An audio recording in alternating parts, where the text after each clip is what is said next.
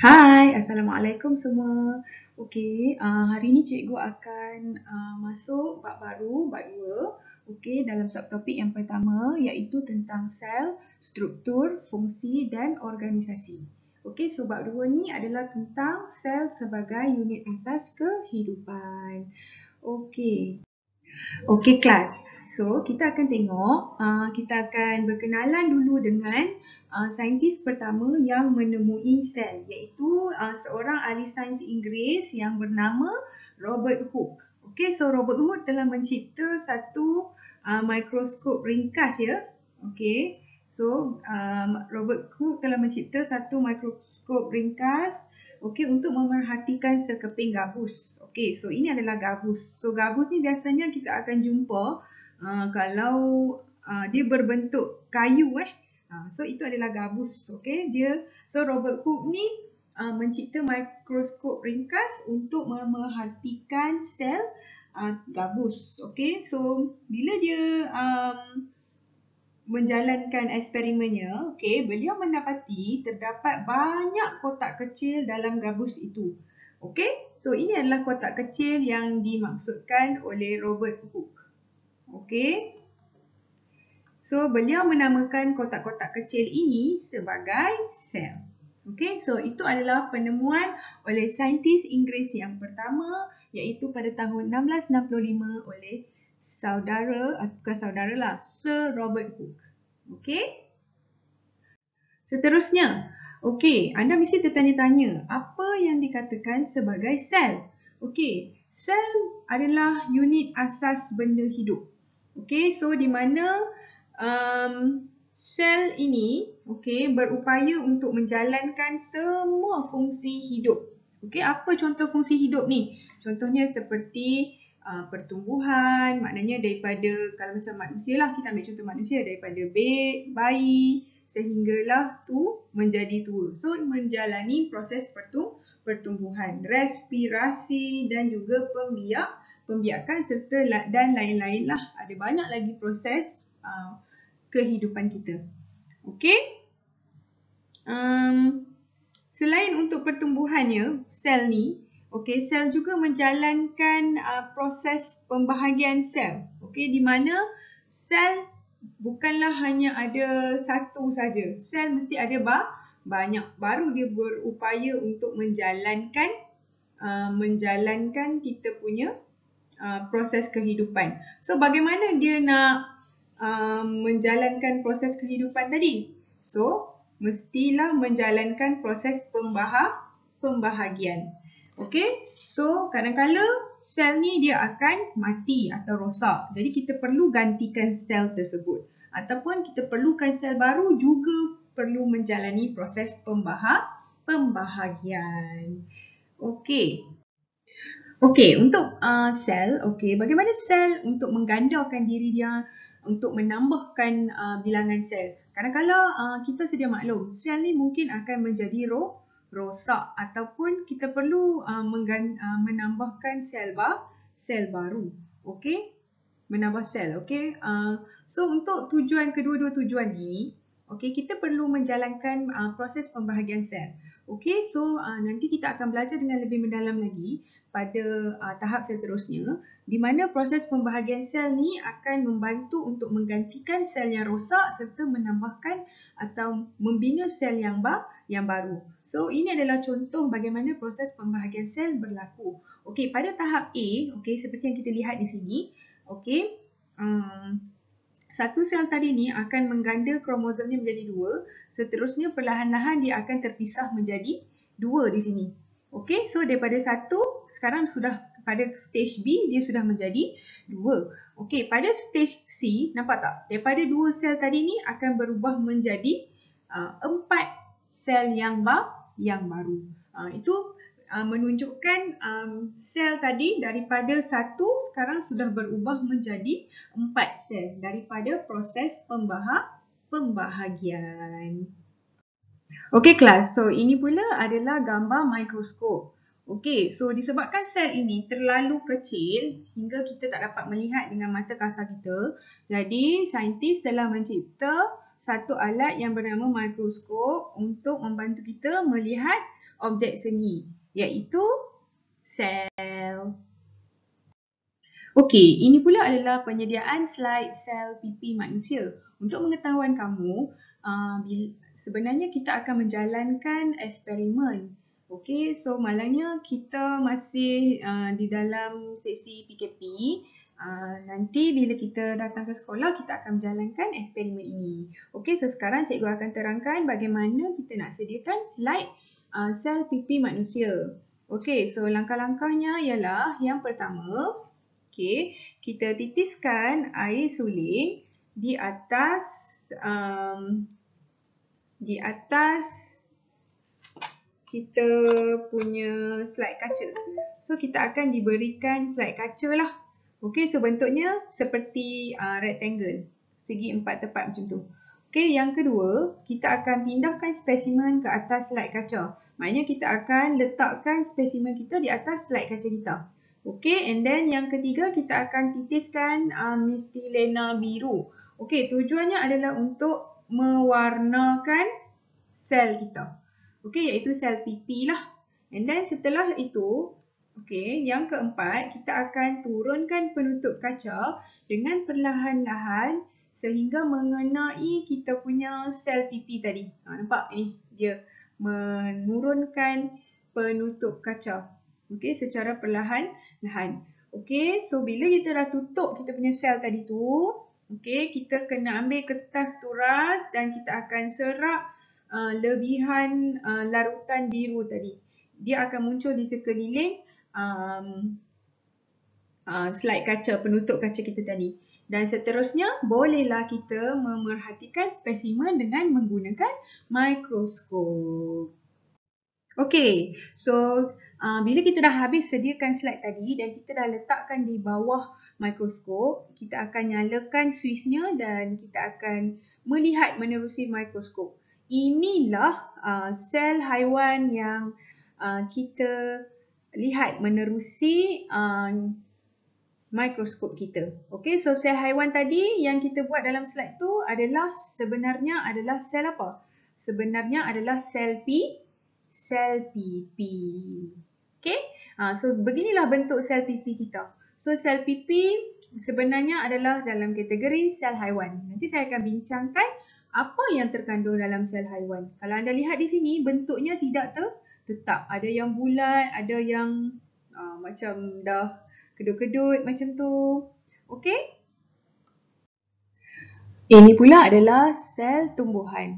Okay, di bawah uh, mikroskop. Okay. So, uh, kalau anda lihat di sini berbanding dengan uh, sel haiwan tadi, okay, sel tumbuhan uh, kelihatan seperti bata, ada kotak-kotak. Okay. Ha. Kalau sel haiwan tadi bentuknya tak sekata tidak sah, sama bentuknya antara satu sel dengan sel yang lain. Tetapi kalau sel tumbuhan, jika anda lihat di bawah mikroskop ini, bentuknya adalah lebih kurang sama. Okey, ini pula adalah sel haiwan di mana dalam sel haiwan ini terdapat empat bahagian yang sangat penting. Yang pertama, kita ada membran sel. Okey, so membran sel ini berfungsi untuk mengawal pergerakan bahan ke dalam dan keluar sel. Ianya bertindak kita boleh kata seperti pintu ataupun gate yang mana dianya akan terbuka untuk membenarkan bahan masuk ke dalam dan tertut dan juga kelu keluar. Okey, yang kedua kita ada mitokondria.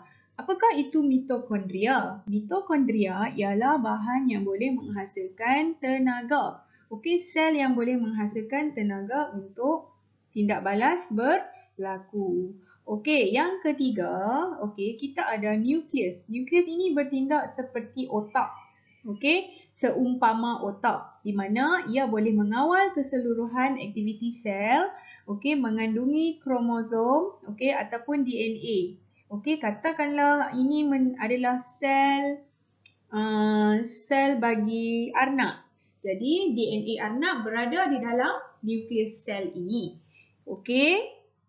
Seterusnya adalah bahagian sitoplasma. sitoplasma merupakan ah yang ni yang saya lukis ni merupakan sitoplasma ya.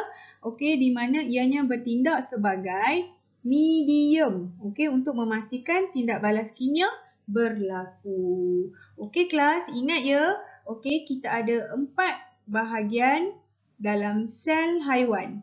Okey yang pertama membran sel. Yang kedua mitokondria.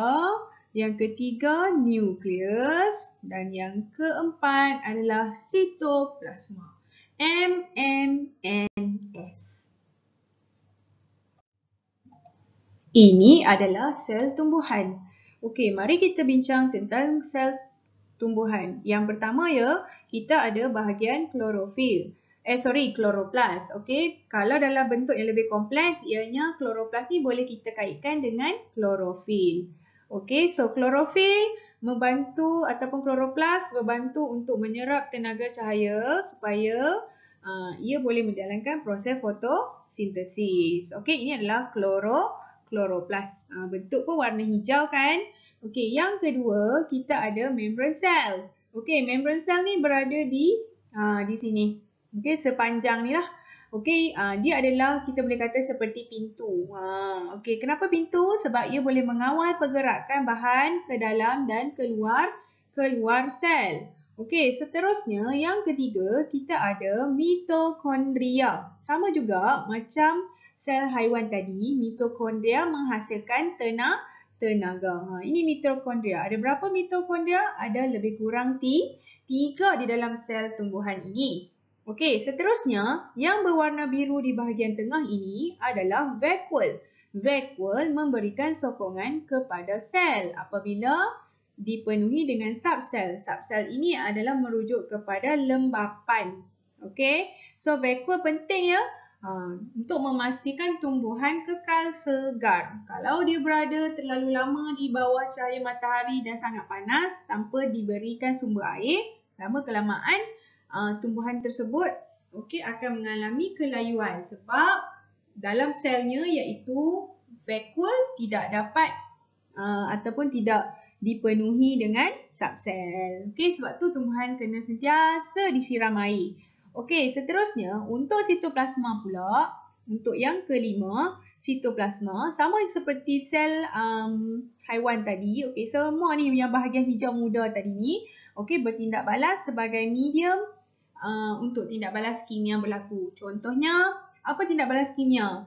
Contohnya seperti uh, penyerapan nutrien. So, semuanya akan berlaku di dalam sito, sitoplasma. Okey, seterusnya, jika anda lihat tadi, okey, uh, dia seolah-olah mempunyai bentuk yang tetap kan apabila uh, tumbuhan tersebut, sel tumbuhan tu kita lihat di bawah mikro, mikroskop. Okey, so apa yang menyebabkan tumbuhan mempunyai bentuk yang tetap.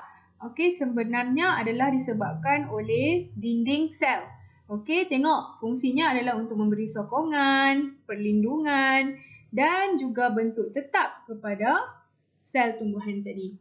Okey, dan seterusnya kita ada nukleus yang saya boleh sebut sebagai brain. Kenapa brain? Sebab dia mengawal keseluruhan aktiviti sel. Okey, di dalam nukleus juga terdapat DNA. DNA. DNA ni apa? Untuk memastikan uh, keunikan sesuatu tumbuhan dengan tumbuhan yang lain tu adalah berbeza. Contohnya, uh, nukleus bagi pokok durian akan mengandungi maklumat yang menyebabkan ianya adalah pokok durian. Kalau ianya pokok uh, mangga, jadi ianya akan mengandungi DNA yang mengandungi maklumat berkaitan dengan pohon mangga. Okey, so saya harap anda boleh ingat kita ada lebih kurang tujuh bahagian uh, yang terdapat dalam sel tumbuhan. Okey. Baik, ini adalah perbandingan antara struktur sel haiwan dan sel tumbuhan. Jika kita uh, lihat, okay, sel tumbuhan mempunyai lebih banyak bahagian berbanding sel haiwan. Okey. Yang pertama sekali, mari kita bincangkan persamaan antara sel haiwan dan juga sel tumbuhan. Okey, yang pertama mempunyai nukleus. So, kedua-duanya mempunyai nukleus. Mempunyai membran sel dan mempunyai sitoplasma. Jadi ada berapa bahagian yang sama antara sel haiwan dan sel tumbuhan? Tiga, iaitu kita ada nukleus, kita ada membran sel dan juga sitoplasma. Okey, apa perbezaan antara sel haiwan dan juga sel tumbuhan? Sel tumbuhan ada dinding sel, manakala sel haiwan tiada. Sel tumbuhan mempunyai kloroplas, tetapi sel haiwan tiada. Okey, sebab haiwan tak perlu buat makanan, dia kena cari makan makanan. So, sel tumbuhan tak buat fotosintesis ya. Sebab tu dia tak ada kloroplas. Okey, bentuk sel. Tumbuhan mempunyai bentuk tetap. Tapi, sel haiwan tak mempunyai bentuk tetap. Ianya bentuk yang berubah-ubah. Okey. Dan seterusnya vacuole. Okey, hanya tumbuhan ada vacuole yang besar. Okey, tapi kalau haiwan peringkat yang rendah, contohnya macam mikroorganisme, mereka mempunyai vacuole. Okey, so ingat ya, kita ada tiga persamaan antara sel haiwan dan sel tumbuhan. Yang pertama, sel ha-, kedua-duanya mempunyai nukleus, mempunyai membran sel dan mempunyai sitoplasma. Apa beza antara sel haiwan dan sel tumbuhan? Sel tumbuhan ada dinding sel, sel tumbuhan ada kloroplas, sel tumbuhan mempunyai vacuole, dan sel tumbuhan mempunyai bentuk yang tetap. Tetapi untuk kesemua item-item tadi, sel haiwan tia tiada. Baik, terima kasih semua.